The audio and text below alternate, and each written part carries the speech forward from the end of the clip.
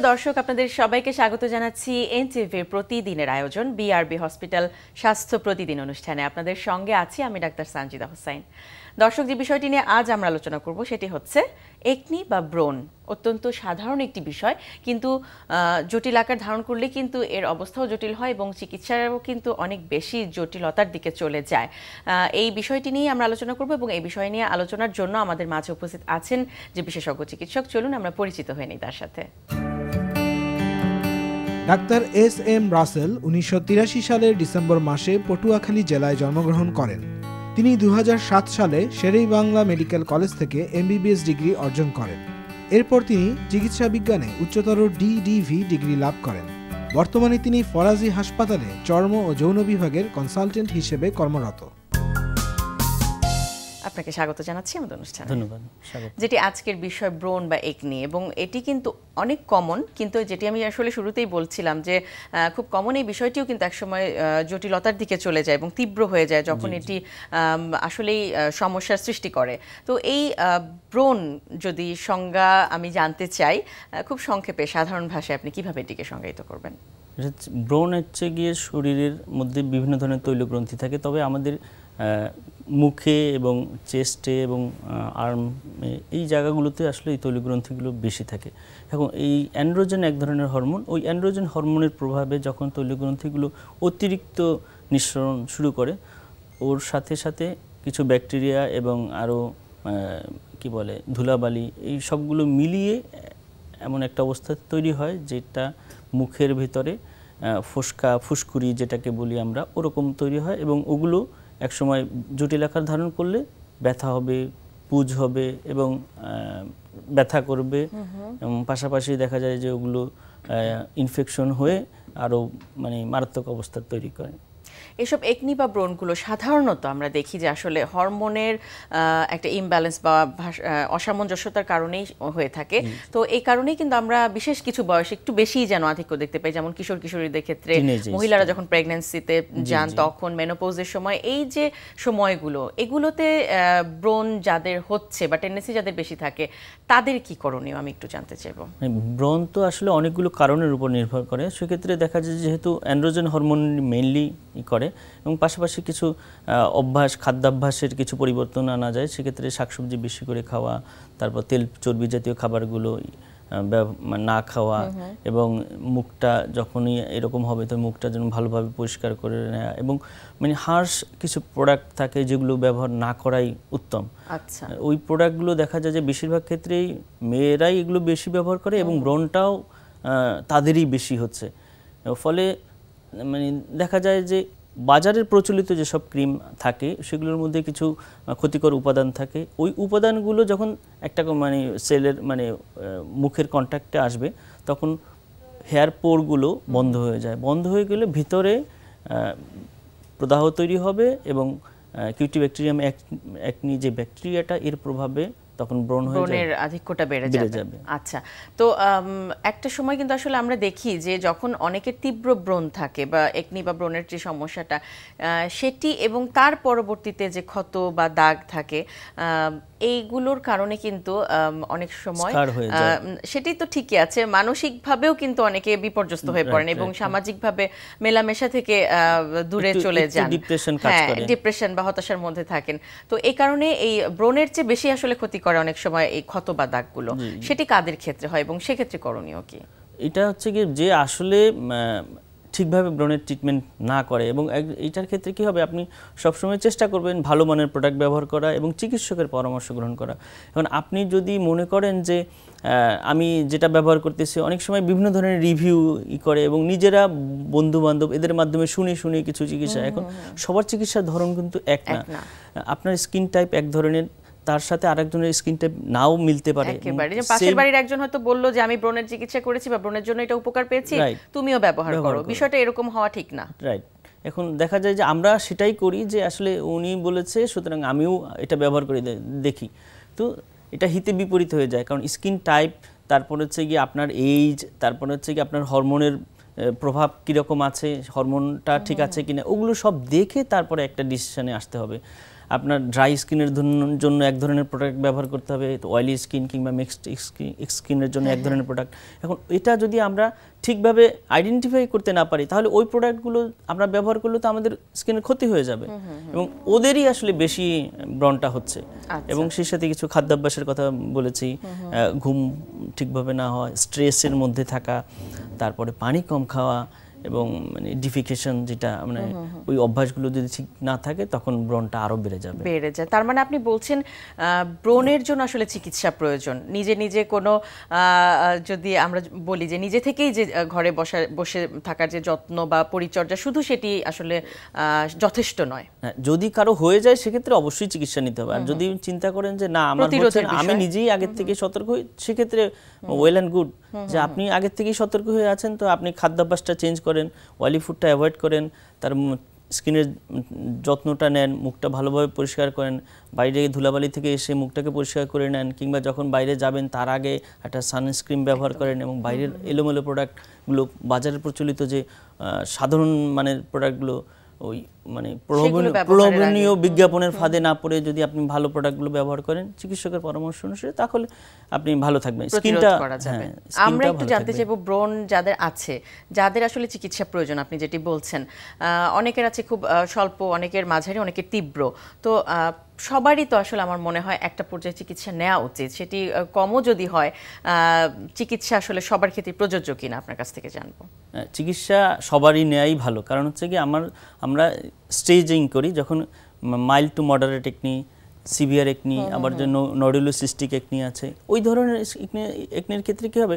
যখনই আপনার mild to moderate থাকবে তখন আপনি অল্প সামান্য কিছু ঔষধে কিছু অ্যান্টিবায়োটিক সেটি আর তীব্র দিকে যাবে তীব্র দিকে যাবে না। কিছু হালকা স্বল্প মাত্রার অ্যান্টিবায়োটিক দেবো এবং কিছু ই দেবো কিছু সালফার জাতীয় সোপ কিংবা বেঞ্জাইল পারক্সাইড জাতীয় কিছু ঔষধ দেবো। তো তাতে ভালো হয়ে যাবে। কিন্তু যখনই আপনার সিভিয়ার একনি হবে তখন আপনাকে ওইটার জন্য আপনার আরও কিছু মেজার নিতে হবে আমি একটু ইন্টারাপ্ট করব। জটিলতাগুলো তখনই কিন্তু হয় যখন খুব সহজ এবং সরল আমরা চিন্তা করে সেই ব্রণটাকে খুঁটাচ্ছি বা ভেতর থেকে একটা শ্বাস জাতীয় জিনিস বের করছি তারপরে সেটির উপরে আবার কোনো প্রোডাক্ট দিচ্ছি পার্লারে যাচ্ছি সাধারণভাবে এটির ব্যবস্থা নিচ্ছি তখনই কিন্তু সেটির জটিলতাগুলো তখনই স্কার হয় গর্তগুলো তৈরি হয়ে যায় এবং অনেক সময় দেখা যায় যে আমরা মানে খুব বাজে একটা অভ্যাস আমাদের আয়নার সামনে গিয়ে বারবার ওটাকে খুঁটিয়ে খুঁটিয়ে দেখা যে কি অবস্থা হলো এবং চাপ দিয়ে বের করে দেওয়া। তাতে কি হয়? আপনার ব্রণটা গর্ত হয়ে যাচ্ছে এবং সেই সাথে ওখান থেকে কালো দাগ হয়ে যাচ্ছে। এখন আপনি দুটোরই চিকিৎসা চাচ্ছেন কালো দাগে এবং ব্রণের গর্ত। কিন্তু এই অবস্থায় দেখা যায় গর্ত যখন হয়ে যায় ওইটা ওখান থেকে রিভার্স করা বেশ কঠিন একটা কাজ।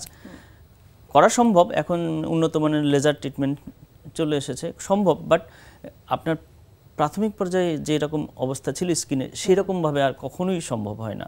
আচ্ছা। তো এই জন্য মাইল্ড অবস্থায় আপনারা একটা চিকিৎসা দেন। তারপর যখন মডারেট বা যদি আরেকটু তীব্র অবস্থায় যায় তখন কি করেন? তখন আমরা এমসিডি করার চিন্তা করি অর্থাৎ এক ধরনের ইলেকট্রিক কারেন্ট দিয়ে ওই ব্রণগুলোকে উঠিয়ে দেওয়ার চেষ্টা করা হয়। ডায়মন্ড আচ্ছা। ডাস্ট আছে ওটা দিয়ে ঘষে এমসিডি যেগুলো মাইক্রোডার্মা অ্যাব্রেশন এই প্রক্রিয়াটা করে থাকি। এবং সেই সাথে আরও শক্তিশালী কিছু ঔষধ দিয়ে থাকি। এবং ভালো মানের একটা সোপ বা ফেস ওয়াশ দিয়ে থাকি এবং আচ্ছা। সেই সাথে খাওয়ার জন্য আইসিট্রুটিনোইন জাতীয় ঔষধও আমরা সাজেস্ট করি তবে সেক্ষেত্রে দেখতে হবে যে আসলে সে মেল না ফিমেল এবং তার বয়স এবং সে তার মানে বৈবাহিক অবস্থাটা কি আচ্ছা। সামনে বা খুব শীঘ্রই সে বাচ্চা নিতে চাচ্ছে কিনা কারণ এই ড্রাগগুলো বেশ সতর্কতার সহিতই ব্যবহার করতে হয় কারণ তা না হলে দেখা যায় এটা টেরাটোজেনিক কিছু ইফেক্ট আছে অর্থাৎ বিকলাঙ্গ হওয়ার বাচ্চা বিকলাঙ্গ হওয়ার সম্ভাবনা থাকে। সেটি অবশ্যই চিকিৎসক নিশ্চয়ই বুঝে তারপরে দেবেন। আচ্ছা তো এই যে বলছিলেন কিছু প্রসিডিউরের কথা এই প্রসিডিউরগুলো নিয়ে আসলে অনেকের অনেক ধরনের বিভ্রান্তিও রয়েছে এবং আসলে কোথায় যাবে কতদিন ধরে চিকিৎসা চলতে থাকবে সেগুলো সম্পর্কে একটু জানতে চাই আপনার এটা হচ্ছে এমসিডি করতে গেলে দেখা যায় আমরা প্রত্যেক মাসে মাসে এক একটা করে সেশন করি এবং এই সেশনগুলো খুব বেশি বেশি যে খরচ হয় তা কিন্তু না এবং ভয়েরও কিছু নেই। অনেকেই ভাবতে পারে যে লেজার করব লেজার করতে গেলে বা এমসিডি করব এই করতে গেলে কি না যেন পার্শ্ব প্রতিক্রিয়া হবে আমার খুব বড় ধরনের ক্ষতি হয়ে যাবে। আসলে সেরকম কিছুই না। মানে এখন পর্যন্ত অ্যাস্থেটিক্স ব্যাপারগুলো যে লেজারের ব্যাপারগুলো এত বেশি মেজার নেওয়া হয় প্রিকশন নেওয়া হয় ফলে এখানে এখানে আপনার মানে পার্শ্ব প্রতিক্রিয়ার হার নেই বললেই চলে। আচ্ছা। বাট আমাদের ধারণা এবং এগুলোর ক্ষেত্রে দেখা যায় যে সত্যি কথা বলতে যে পার্লার বিউটি পার্লার ওরাই আসলে একটু ভয় ভীতিটা তৈরি করে দেয় যে না আপনি লেজার করতে গেলে এই সমস্যা হবে। অথচ মানে মানে সত্যি কথা বলতে কি ওই পার্লারের যারা ওনার ওরাই কিন্তু এসে আমাদের কাছে ট্রিটমেন্ট নিয়ে নিচ্ছে তার মানে লেজার অবশ্যই একটা বড় ভূমিকা রয়েছে কিন্তু কে লেজারটা চালাচ্ছেন বা কার মাধ্যমে ব্যবহৃত হচ্ছে সেটির উপর অনেকটা ডিপেন্ড করে। ত্বকের যে কোনো সমস্যার ক্ষেত্রে লেজারের প্রসঙ্গ কিন্তু সবার আগে চলে আসে কিন্তু লেজার ব্যবহার যিনি করছেন বা লেজার যিনি প্রয়োগ করছেন তার স্কিলের উপরে পুরোটাই ডিপেন্ড করে বা তার অভিজ্ঞতার উপরে পুরোটাই ডিপেন্ড করে যেটি আপনি বলছিলেন। আসলে কোথায় যেতে হবে এই লেজার চিকিৎসার জন্য? এখন বিভিন্ন ধরনের লেজার আছে আমাদের। এখন আপনার যেটা প্রয়োজন যে ধরনের লেজার প্রয়োজন সেই অনুসারে আপনাকে দেখতে হবে যে তার কাছে এই ডিভাইসটা আছে কিনা। কারণ এগুলো মানে, মানে বেশ ব্যয়বহুল এবং দামটাও অনেক বেশি। লেজারের ধরন এবং প্রকৃতিও নিশ্চয়ই ভিন্ন ভিন্ন ভিন্ন ভিন্ন আপনার যে ট্রিটমেন্ট দরকার আপনার কার্বন ডাইঅক্সাইড লেজার করা দরকার আপনার ব্রণ গর্ত ই করার জন্য কিংবা অ্যাবলেটিভ কিছু লেজার দরকার ফ্র্যাকশনাল লেজার তো ওই মেশিনগুলো ভিন্ন ভিন্ন। তখন সেক্ষেত্রে কী করতে হয় আপনাকে? ওই মেশিনগুলো যাদের কাছে আছে দেখা যায় এগুলো বেশিরভাগ ক্ষেত্রেই মানে বড় বড় ফিজিশিয়ান যারা আছে যারা অ্যাস্থেটিক্স প্র্যাকটিস করে তাদের কাছ থেকে এই ট্রিটমেন্টগুলো নেওয়াই উত্তম। আচ্ছা। তো এই যে বলছিলেন যে ব্রণের দাগ বা পিগমেন্টেশন যেটিকে বলা হয় অথবা স্কার মার্কস ভিতরে গর্ত হয়ে যায় অনেক সময় এবং সেগুলো দীর্ঘমেয়াদী এবং সেটি নিয়েই সবচেয়ে বেশি আসলে দুশ্চিন্তা অনেকের থাকে যেতে চায় না। আমি অনেকবার ব্যবহার করছি এটা ওটা ব্যবহার করছি বা এই প্রসিডিউর দিচ্ছি কিন্তু ঠিক হচ্ছে না। এটা বলে থাকেন অনেকে। কতদিন পর্যন্ত আসলে আপনারা এই প্রসিডিউরগুলো করেন এবং পুরোপুরি কি ঠিক হয় কি না? পুরোপুরি আমি বলব যে পুরোপুরি কখনোই আপনার আগের স্কিনের মতো হবে না। বাট এর থেকে আপনি সেভেন্টি এইটি নাইনটি পার্সেন্টের মতো আপনি ইম্প্রুভমেন্ট পাবেন। সেটি হ্যাঁ সেটাই অনেক এবং সেই সাথে কি হয় যে আপনার সেশনগুলো একটু খেয়াল করতে হবে। আপনার আটটা থেকে দশটার মতো সেশন লাগবে এবং প্রত্যেকটা সেশনের গ্যাপ হবে আমাদের এক মাসের মতো।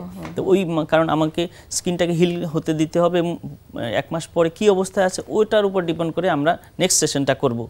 তো এবং এইখানে লেজারের আমরা মানে ক্ষমতা কতটুকু দেবো? অর্থাৎ কত ইন্টেন্সিটি পাওয়ার দেব সেটা নির্ভর করবে আমার স্কিনের উপরে যে আমার অবস্থা এখন এই অবস্থায় আছে তো ওইখান থেকে আমি কমাবো না বাড়াবো যে আমার ইম্প্রুভমেন্টটা কীরকম হচ্ছে ওইটা আচ্ছা। ওগুলো নির্ভর করে। এবং যখনই প্রসিডিউরগুলো চলতে থাকে তখনও তো কিছু মেইনটেনেন্সের ব্যাপার থাকে বা আপনাদের লাইফস্টাইল খাদ্যাভ্যাসের পরামর্শ কিছু থাকে।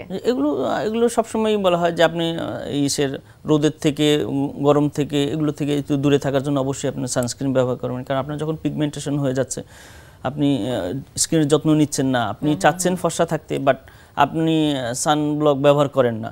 আপনি চাচ্ছেন ফর্সা থাকতে তো আপনার জন্য যে ভিটামিন মিনারেলসগুলো দরকার আপনি সেগুলো নিচ্ছেন না। কিংবা আপনার জন্য স্কিনটাকে ভালো রাখার জন্য ভিটামিন মিনারেলস যেগুলো দরকার আপনি সেই জাতীয় মিনারেলস ভিটামিন বা ময়শ্চারাইজার ব্যবহার করছেন না। তো এগুলো তো আপনাকে করতে হবে। আপনি চাইবেন এক বাট সেটা করবেন না। তখন সবকিছু মিলে শুধু প্রসিডিউর দিয়ে হবে না নিশ্চয়ই সবকিছু লাগবে। সানব্লকের কথা যেহেতু এসেছে আমি একটু জানতে চাইব। আপনি বলেছেন তৈলাক্ত ত্বকের জন্য সাধারণত তৈলাক্ত ত্বকের ক্ষেত্রে সাধারণত ব্রণের আধিক্যটা বেশি। থাকে বা টেন্ডেন্সিটা বেশি থাকে। তৈলাক্ত ত্বক যাদের তারা তো আসলে এটা চিন্তা করতেই পারেন যে আমি সানব্লক যে ইউজ করব সানব্লকেও তো মুখটা আরও তৈলাক্ত হয়ে যায়। তাহলে আমাদের জন্য কি করণীয়? এটি ব্রণের যারা আছেন যাদের ব্রণ আছে তারা কি খুব খুব সুন্দর একটা কোশ্চেন এই জিনিসটা হচ্ছে কি আমরা আসলেই এটা বুঝি না এবং এটার জন্য বুঝতে হলে অবশ্যই বিশেষজ্ঞ চিকিৎসকের পরামর্শ নিতে হবে। আমি সেই কথাটাই আজকে সবার সামনে উন্মুক্ত করে দিচ্ছি। জিনিসটা হচ্ছে গিয়ে আপনি যখন স্কিনটা আপনার অয়েলি থাকবে তখনই আপনাকে প্রোডাক্টটা ওয়াটার বেস প্রোডাক্ট ব্যবহার করতে হবে। অয়েলি স্কিনের জন্য ওয়াটার বেস প্রোডাক্ট এবং আপনি ক্রিম বেস প্রোডাক্ট ব্যবহার করলে আপনার হবে না। সেই কারণে আপনাকে এসপিএফ থার্টি জাতীয় যেটা আপনার জেল ফর্মে আছে অয়েলি স্কিনের জন্য SPF thirty more than enough but যাদের স্কিনটা ড্রাই তাদের ক্ষেত্রে আমি বলব যে আপনারা এসপি ফিফটি কারণ এটা ক্রিম বেস সুতরাং ওইটা আপনি ব্যবহার করেন তো এসপি ফিফটি জাতীয়টা হলে আপনার জন্য আপনার ড্রাই স্কিনের জন্য ভালো হবে এবং অয়েলি স্কিনের জন্য আপনি এসপি থার্টি ব্যবহার করবেন। মানে ডিপেন্ড করছে আসলে তার স্কিনের ধরনের উপরে। তার মানে ব্যবহার আসলে করতেই হবে। সানব্লকের কোনো বিকল্প নেই এক্ষেত্রে। আচ্ছা প্রসিডিওরগুলোর কথা শুনলাম এবং সেই প্রসিডিওরগুলো যখন কারও কমপ্লিট হয়ে যায় পরবর্তীতে আবার কি ব্রণ হওয়ার সম্ভাবনা আছে কিনা? সেক্ষেত্রে কি করবে? আমরা অ্যাডাল্ট টেকনি বলে থাকি। অনেক সময় দেখা যায় যে অ্যাডাল্ট এইজেও অনেক সময় অনেকেরই হয়ে থাকে। কারণ টিনেজের একটা স্টেজ পার হওয়ার পরে সাধারণত হয় না। বাট কারও কারও ক্ষেত্রে এটা ব্যতিক্রম যে অ্যাডাল্টদেরও মাঝে মাঝে হয়ে যায়। ওই ক্ষেত্রে তার কিছু চিকিৎসা নিতে হবে এবং অল্প মানে কারণ ওই সময় আমরা বুঝি মানে আমাদের এই স্কিনটার যত্ন নেওয়ার ব্যাপারে আমরা আরও বেশি সচেতন হই। তো তখন দেখা যায় যে কিছু স্বল্প মাত্রার ঔষধ সেবন করলে কিছু প্রোডাক্ট ফেস ওয়াশ বা কিছু ছোটোখাটো কিছু ছোটোখাটো কিছু লেজার করলে এটা ঠিক হয়ে যায়। আচ্ছা একটু ভিন্ন প্রসঙ্গে যেতে চাই। আপনি বলেছেন যে আসলে খাদ্যাভ্যাস এবং লাইফস্টাইলের খুব গুরুত্ব রয়েছে ত্বক ভালো থাকার ক্ষেত্রে এবং ব্রণ প্রতিরোধের ক্ষেত্রে। মাছ নিশ্চয়ই খুব পুষ্টিমান সমৃদ্ধ একটি খাবার, মাছের পুষ্টি গুণাগুণ আমাদের পুষ্টিবিদের মাধ্যমে আমাদের দর্শকদের দেখাতে চাই। দর্শক দেখে নিন, মাছের মধ্যে রয়েছে কি কি পুষ্টি গুণাগুণ আমাদের পুষ্টিবিদের কাছ থেকেই। পৃথিবীর সবচেয়ে পুষ্টিকর খাবারগুলোর মধ্যে অন্যতম হচ্ছে মাছ, কারণ মাছে রয়েছে প্রচুর পরিমাণ নিউট্রিশন, যার মধ্যে ভিটামিন ডি এবং প্রোটিন অন্যতম। মাছে রয়েছে হাই কোয়ালিটি প্রোটিন, আয়োডিন বিভিন্ন প্রয়োজনীয় ভিটামিন এবং মিনারেলস। এছাড়া মাছে রয়েছে ওমেগা থ্রি ফ্যাটি অ্যাসিড, যা আপনার স্বাস্থ্যের জন্য এবং ব্রেনের জন্য খুবই উপকারী। ওমেগা থ্রি ফ্যাটি অ্যাসিড, যা আমাদের হার্টকে সচল রাখতে সাহায্য করে। এছাড়া আমাদের বার্ধক্যকে প্রতিরোধ করার জন্য ওমেগা থ্রি বেশ ভালো কাজ করে থাকে। মাছে উপস্থিত রয়েছে যে তেল সেটা আমাদের স্কিনকে ভালো রাখতেও সাহায্য করে থাকে। আমাদের শরীরে কিছু ভিটামিন রয়েছে যা আসলে ফ্যাট ছাড়া কাজ করতে পারে না। এই ফ্যাটটা আমরা গ্রহণ করব একটি ভালো উৎস থেকে, যেটা হতে পারে মাছ। এই মাছের ফ্যাটটা প্রতিদিন আমাদের শরীরে বিভিন্ন কার্যক্ষমতার বাড়িয়ে দিতে সাহায্য করবে এবং শরীরে শক্তি উৎপাদন করতে সাহায্য করে। মাছে উপস্থিত তেল অনেক রোগের ঝুঁকি কমায়। ডিপ্রেশন আজকাল খুব কমন একটি রোগ। ডিপ্রেশন প্রতিরোধে এই মাছের তেল খুব ভালোভাবে কাজ করে। এছাড়া আমাদের যেসব ভিটামিন ফ্যাট নির্ভর মানে ফ্যাট সলিউবল ভিটামিন রয়েছে, সেই সব ভিটামিনের জন্য হলেও, আমাদের ভিটামিনের কার্যকারিতার জন্য হলেও আমাদের সপ্তাহে দু একদিন ফ্যাটি ফিশ খাওয়া উচিত। টাইপ ওয়ান ডায়াবেটিস প্রতিরোধে আমরা বাচ্চাদের ফ্যাটি ফিশ খাওয়াতে পারি। এছাড়া যেসব বাচ্চাদের অ্যাজমা রয়েছে অ্যাজমা প্রতিরোধেও ফ্যাটি ফিশ দারুণভাবে কাজ করে থাকে। চোখের সুস্থতা ঘুমের সমস্যা এবং শারীরিক জড়তা থেকে পরিত্রাণ পেতে তাই প্রতিদিন খাবারের তালিকায় মাছ রাখুন। একেবারে শেষ দিকে আমরা চলে এসেছি। ব্রণ বা একনি প্রতিরোধের জন্য কিংবা যাদের খুব বেশি আছে সেগুলো যাতে জটিলতার দিকে না যায় সার্বিকভাবে কি পরামর্শ থাকবে? আপনার স্কিনের যত্ন নিতে হবে। সে যেভাবেই হোক আপনার খাদ্যাভ্যাসটা পরিবর্তন করতে হবে শাকসবজি জাতীয় খাবারটা বেশি করে খেতে হবে তেল চর্বিটা যতটা সম্ভব অ্যাভয়েড করতে হবে। আপনি ব্যালেন্স ডায়েট খাওয়ার চিন্তা করবেন স্ট্রেসটা যেন না হয়। ঘুমটা পর্যাপ্ত থাকবে এবং পানির পরিমাণটা বেশি থাকতে হবে। মানে খাওয়ার যে আট থেকে দশ গ্লাস পানি ডেলি খেতে হবে। তাহলে আমাদের স্কিনটা ভালো থাকবে এবং সবার জন্য আমার পরামর্শ থাকবে যে আপনারা যখনই যেটাই প্রোডাক্টটা ব্যবহার করেন না কেন অবশ্যই একজন ভালো চিকিৎসকের পরামর্শ অনুসারে আপনার সেই প্রোডাক্টটা ব্যবহার করবেন। কারণ আপনার স্কিন এবং সেটার দায়ভার সম্পূর্ণ আপনার। আপনার আপনাকে সুন্দর করার জন্য আপনাকে সুন্দর লাগানোর জন্য কিন্তু আপনি নিজেই যথেষ্ট। নিশ্চয়ই এবং সেই সচেতনতা নিজেকেই নিতে হবে বা নিজের থাকতে হবে। অনেক অনেক ধন্যবাদ। চমৎকার কিছু তথ্য এবং পরামর্শ আমাদের দেবার জন্য। আপনাকেও ধন্যবাদ। দর্শক আমরা শুনছিলাম একনি বা ব্রণ নিয়ে বেশ কিছু গুরুত্বপূর্ণ তথ্য এবং পরামর্শ। আমাদের আজকের অতিথির কাছ থেকে নিশ্চয়ই সেগুলো আপনাদের উপকারে আসবে। এ পর্যায়ে চলুন দেখে নেই কি থাকছে আগামী পর্বে বিআরবি হসপিটাল স্বাস্থ্য প্রতিদিনে। নাকের পলিপ বলতে আমরা যেটা বুঝি এটা এক ধরনের রোগ। সেগুলো নাকের যে মিকুজা আছে আবরণ সে আবরণের মধ্যে যখন নাকি কোনো ইনফ্লামেটরি চেঞ্জ হয় সেখানে কিছু ওয়াটার লগিং হয় মানে পানি জমে। তারপর সেগুলি আঙুলের মতো ঝুলতে থাকে।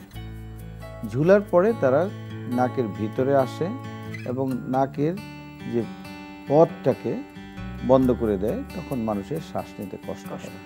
আমরা যখন নাকি আমরা যন্ত্র দিয়ে দেখি দেখি কতগুলো ছোট ছোট ছোট সাদা সাদা আঙুরের মতো জিনিস ঝুলছে। এগুলি হলো মেনলি আমাদের পলিপ। প্রিয় দর্শক, আপনার প্রিয় অনুষ্ঠান বিআরবি হসপিটাল স্বাস্থ্য প্রতিদিন দেখতে চাইলে ভিজিট করুন আমাদের পূর্ণাঙ্গ web portal W W dot এছাড়াও এনটিভি জনপ্রিয় সব অনুষ্ঠান ও খবরের আপডেট জানতে ভিজিট করুন আমাদের ইউটিউব ও ভ্যারিফাইড ফেসবুক পেজে আজ এ পর্যন্ত সবাই ভালো থাকুন, সুস্থ থাকুন। আগামীকাল আবারও দেখা হবে ঠিক একই সময় এনটিভির পর্দায়।